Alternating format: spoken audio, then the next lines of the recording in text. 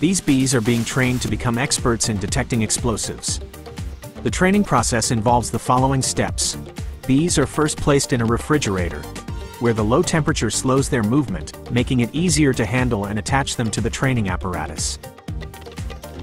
During training, the bees are exposed to the scent of explosives for 6 seconds and rewarded with sugar water during the last 3 seconds.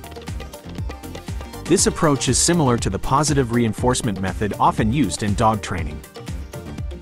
After four quick training sessions, the bees will instinctively extend their proboscis when they detect the smell of explosives. In the field, the trained bees are released and monitored using drones. They naturally gather at locations containing explosives, hoping to find food. Training bees to detect explosives requires minimal time and costs significantly less than training dogs. Additionally, their lightweight nature prevents accidental detonation of explosives,